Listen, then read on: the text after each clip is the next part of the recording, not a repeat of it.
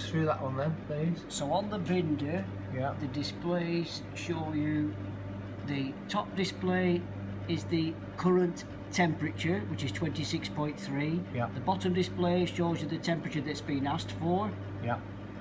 and the green indicator shows you what's actually being displayed, which in this case is temperature. Okay. Yeah. Then the display rolls over to show you that the current humidity is 18 on the top display, the requested humidity is 90 on the lower display, and the green display shows you RH percent.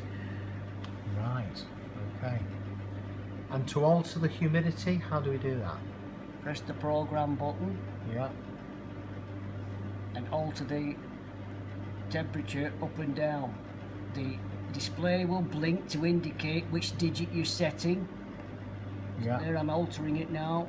Press enter to Yeah. confirm. Press exit. The display, the lower display is now altered to indicate 44 degrees. Right. And and then to do the and to do the humidity. Same again, wait till the display rolls round to the humidity, which it has now. Press program on the left.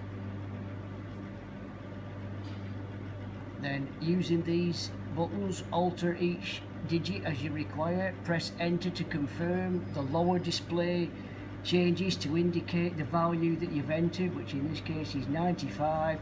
Press exit and the machine will now work to achieve those values.